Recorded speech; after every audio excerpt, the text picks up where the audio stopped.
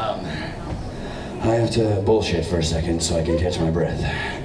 Um, we'll get there, don't worry. Got a Redskin shirt on? Till the day I die.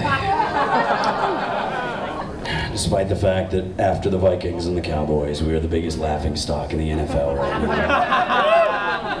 But I can always, yes, fuck Dan Snyder, totally. When the decade of kidnapping begins, I would like everybody to kidnap him. That's just a joke. Please don't take that as a serious suggestion. I do not want to be held legally liable for that. For clapping at that joke, you have waived me of all responsibility. There you go. What about the POS effort? Um, that's, Two, that's- two minute offense.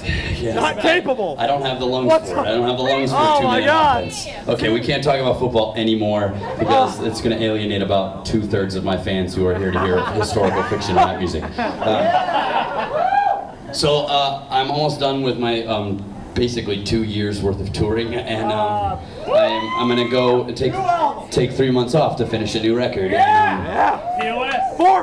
The Four Fists record is done. It's already done, and it's going to be coming out sometime next year on, on Doomtree, and uh, I'm very excited about that. We'll get into that a little bit later. But right now, we're going to talk about my new record, and then Albert Haynesworth.